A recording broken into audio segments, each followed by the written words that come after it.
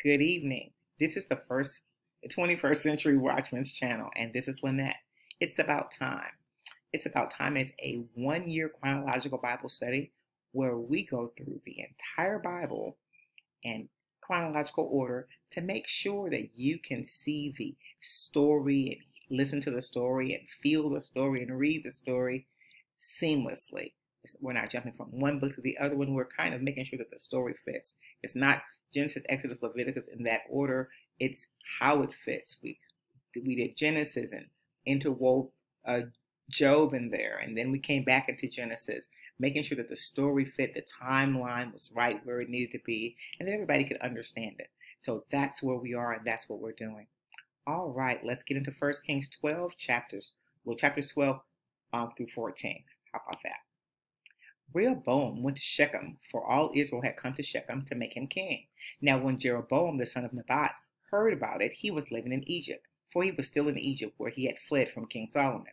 So they sent word and called for him. And Jeroboam and all the assembly of Israel came and spoke to Rehoboam, saying, Your father made our yoke heavy. So now lighten the hard labor and the heavy yoke your father imposed on us, and we will serve you. Rehoboam replied to them, Leave for three days, then come back to me. So the people left. King Rehoboam consulted with the elders who had served and advised his father Solomon while he was still alive and said, How do you advise me to answer this people?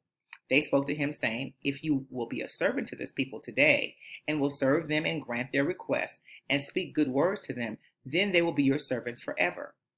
But he ignored the advice which the elders gave him and consulted the young men who grew up with him and served him. He said to them, What do you advise that we answer this people who have said to me? Lighten the yoke which your father put on us? The young men who had grown up with him answered, This is what you should say to this people who told you, Your father made our yoke heavy, but as for you, make our yoke lighter. Say this to them My little finger is thicker than my father's loins. And now Whereas my father loaded you with a heavy yoke, I will add to your yoke. My father disciplined you with whips, but I will discipline you with scorpions. Taking the advice of young people that don't have any seasoning, eh, they don't have the experience. Not that young people don't have good advice and they don't have wisdom, but come on, this is not right.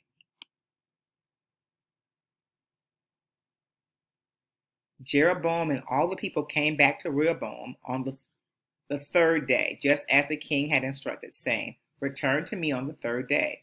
The king answered the people harshly and ignored the advice which the elders had given him, and spoke to them in accordance with the advice of the young men, saying, My father made your yoke heavy, but as for me, I will add to your yoke. My father disciplined you with whips, and I will discipline you with scorpions. So the king did not listen to the people, for the situation was from the Lord so that he might fulfill his word, which he spoke through Ahijah the Shilonite to Jeroboam the son of Nebat. So when all Israel saw that the king did not listen to, to them, the people replied to the king, saying, What portion do we have in David? We have no inheritance in the son of, of, mm. of Jesse. To your tents, O Israel. Now look now after your own house, David. Then Israel went back to their tents. But as for the sons of Israel who lived in the cities of Judah, Rehoboam reigned over them. Then King Rehoboam sent to Adoram, who was in charge of the forced labor, and all Israel stoned him to death. They killed him, and King Rehoboam quickly mounted his chariot to escape to Jerusalem. So Israel has rebelled against the house of David to this day. They are not together. They are not together. It came about when all Israel heard that Jeroboam had returned that they sent word and called him to the assembly and made him king over all Israel.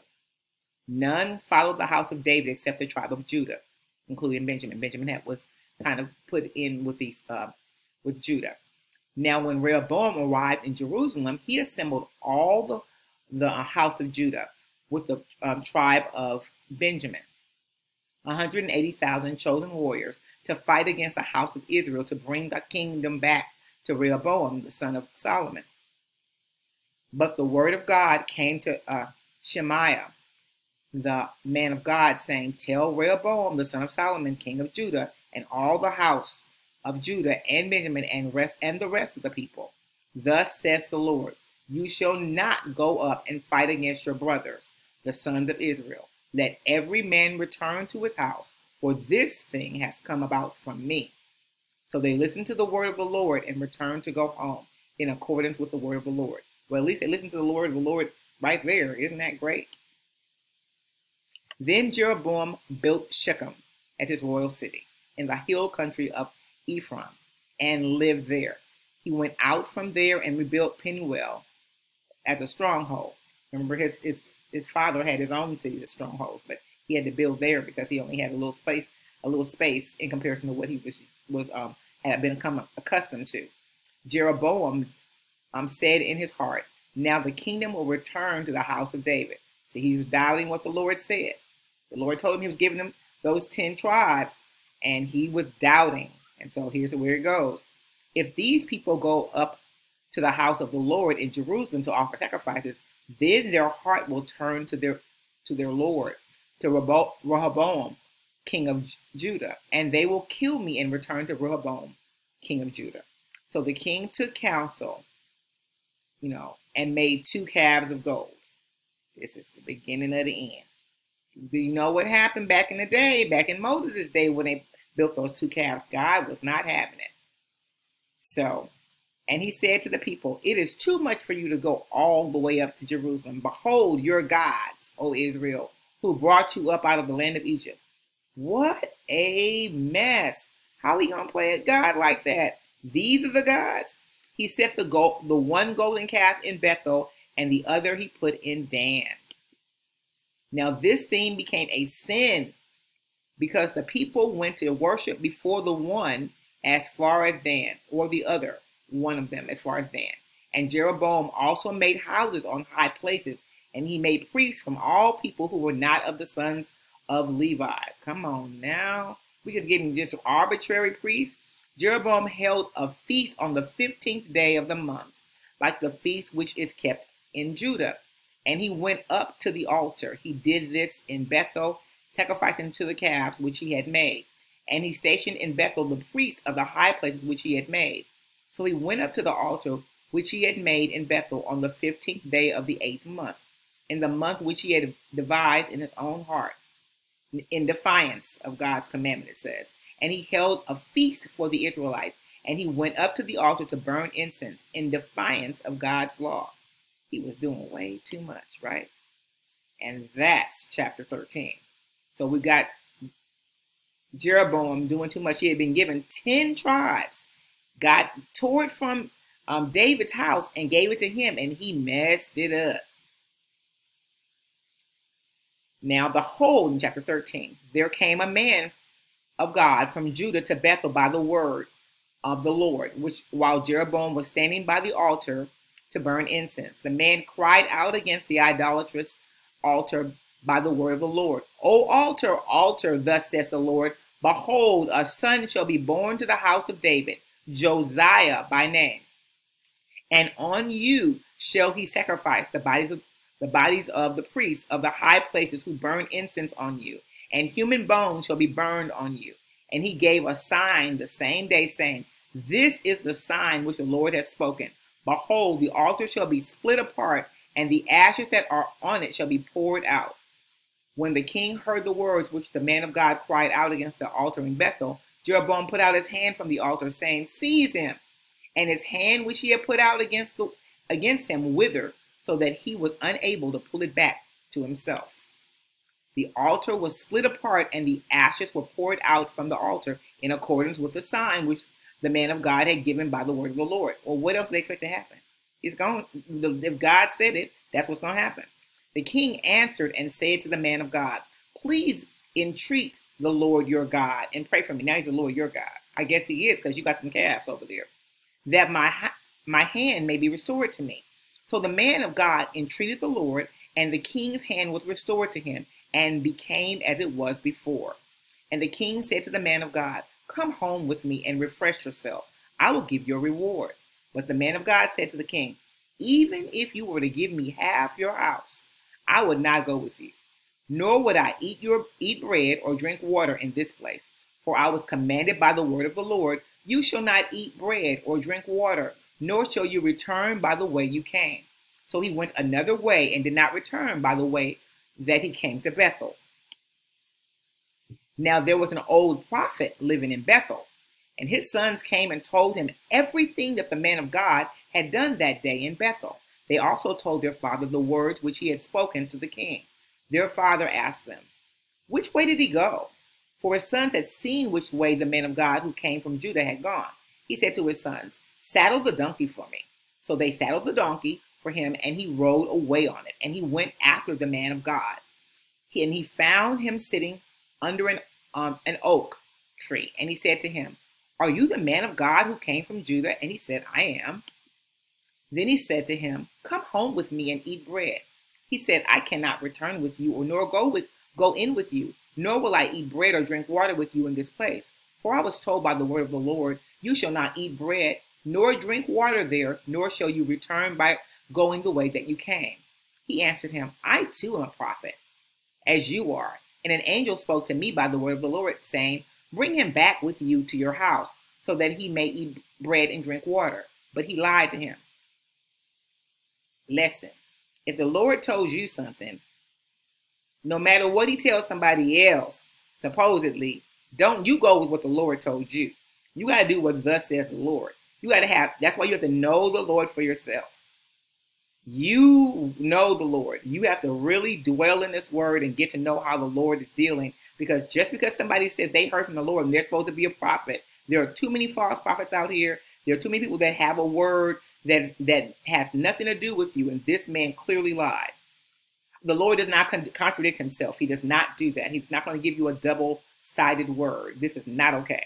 Anyway, so it says, so the man of God went back with him and ate bread in his house and drank water because the man told him an angel came to him. Now, does it? An angel does not trump the Lord. So you got a lower ranking official, if you will, telling you to, to go in and eat with them. Come on now. That's not okay. Now it happened as they were sitting at the, the table that the word of the Lord came to the prophet who had brought him back. And he cried out to the man of God who had come from Judah. Thus says the Lord, because you have disobeyed the word of the Lord and have not kept the commandment which the Lord your God commanded you, but have come back and have eaten bread and drunk water in the place of which the Lord said to you, You shall not eat bread nor drink water, your body shall not come to the tomb of your fathers. After the prophet of the house had eaten bread and after he had drunk, he saddled the donkey for the prophet, whom he had brought back. Wow. Now, when he had gone, a lion met him by the road and killed him. And his body was thrown in the road, and the donkey st standing beside it. The lion was also standing beside the body. And there were men passing by, and they saw the body thrown in the road, and the lion standing beside the body. So they came and told about it in the city where the old prophet lived. When the prophet who had brought him back from the road heard about it, he said, It is the man of God who was disobedient to the word of the Lord. How come he didn't say it was the man of God who was who I tricked? The man of God who I lied to. It's the man of the God who was disobedient. It's the man of God who was disobedient. How you gonna play him? All right, I'm just gonna say it's just it was wrong. That's wrong. He wrong for that. That's that's just how I'm going to leave it. Therefore, the Lord has given him to the lion, which has torn him and killed him, in accordance with the word of the Lord, which he had spoke to him. And he said to his son, Saddle the donkey for me. And they saddled it, and he went out and found the body thrown on the road, and the donkey and the lion standing beside the body. The lion had not eaten the body or attacked the donkey. Then the prophet picked up the body of the man of God and laid it on the donkey and brought it back, and he came into the city of the old prophet to mourn and to bury him. And he laid the body in his own grave, and they mourned over him, saying, Alas, my brother. Then after he had buried him, he said to his sons, When I am dead, bury me in the grave in which the man of God is buried. Lay my bones beside his bones. For the words which he cried out by the word of the Lord against the altar in Bethel, and against all the houses of the high places which are in the, the city of Samaria, shall cer certainly come to pass.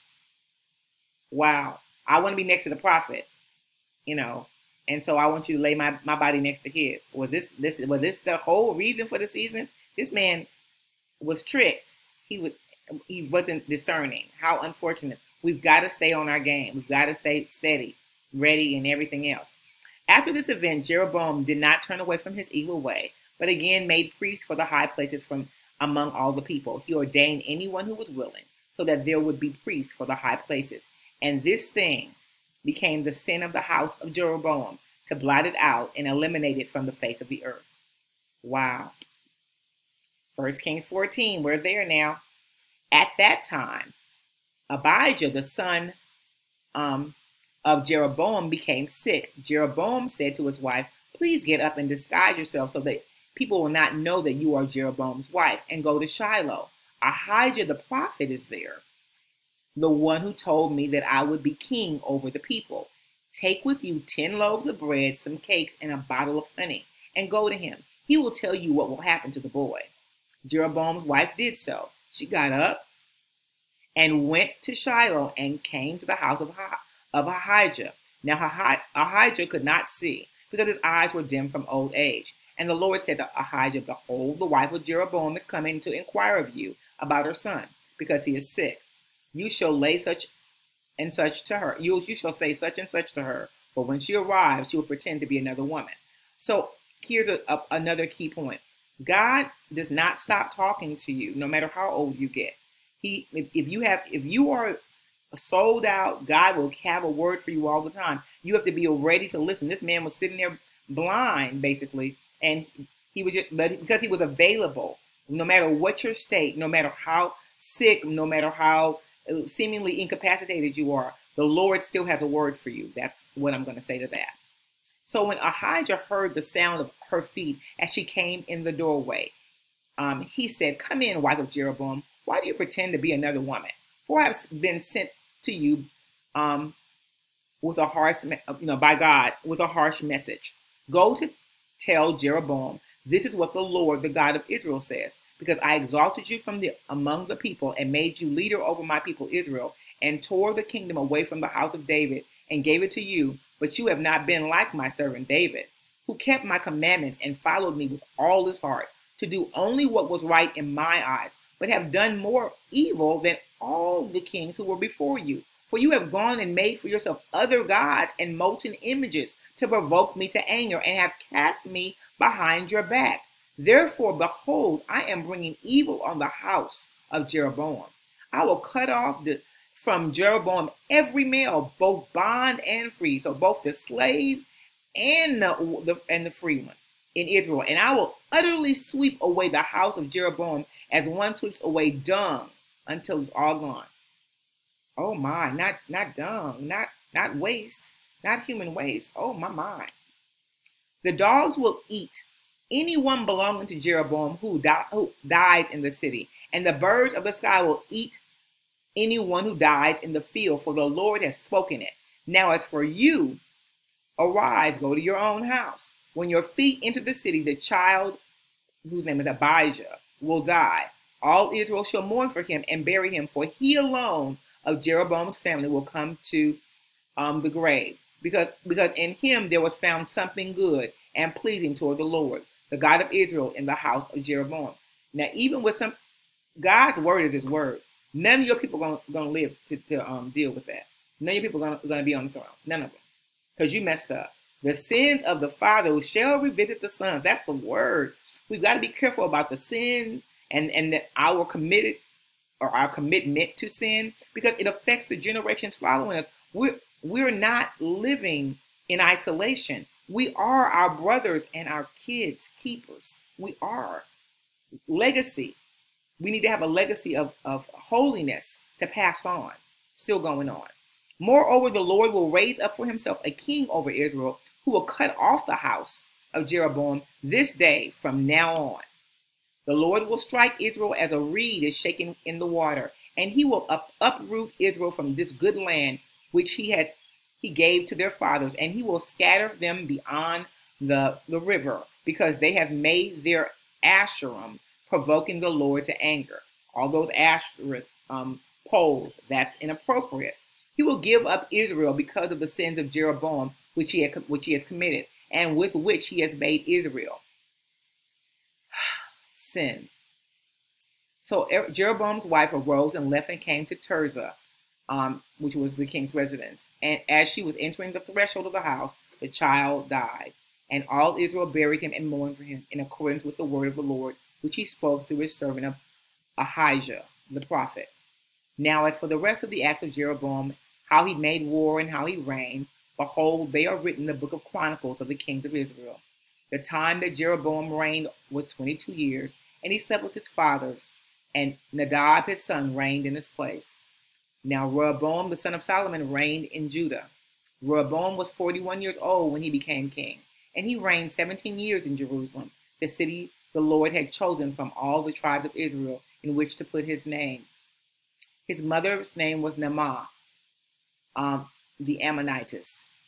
And the people of Judah did evil in the sight of the Lord. They provoked him to jealousy. She was an Ammonitess. And so remember, if you, if you don't um, recall, the other day we talked about the fact that um, Solomon made uh, erected shrines to Naamah's god and also the uh, princess of of Egypt and all of his wives. He erected gods, and so there we go.